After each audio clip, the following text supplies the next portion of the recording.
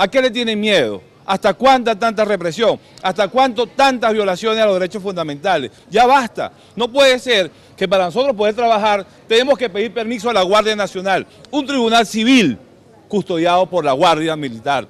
Esto no es un tribunal militar. Yo no cumplo ni obedezco órdenes de militares. Yo soy un civil y un abogado que es eso mi profesión.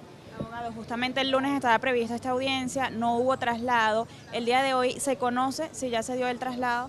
Todavía no sabemos si se va a dar traslado porque es que aquí no hay justicia. Una justicia tardía no es justicia. Estamos esperando más de ocho meses para celebrar una audiencia preliminar.